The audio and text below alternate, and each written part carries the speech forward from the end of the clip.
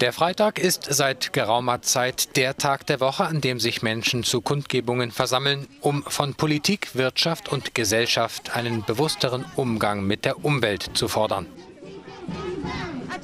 London und Brüssel gehörten diesmal zu den Schauplätzen.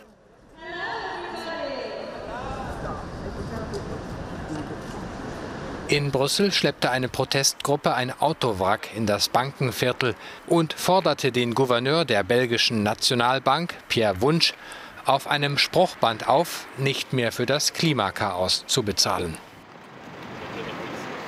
Das ist ein Wagen aus der Region Wallonien, in der es diesen Sommer schwere Überschwemmungen gab, die auch durch den Klimawandel verursacht werden.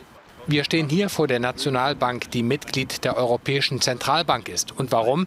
Weil die EZB, die die Wirtschaft, das Finanzsystem mit Tausenden von Milliarden Euro geflutet hat, um das System zu festigen, den Klimawandel unbeachtet gelassen hat.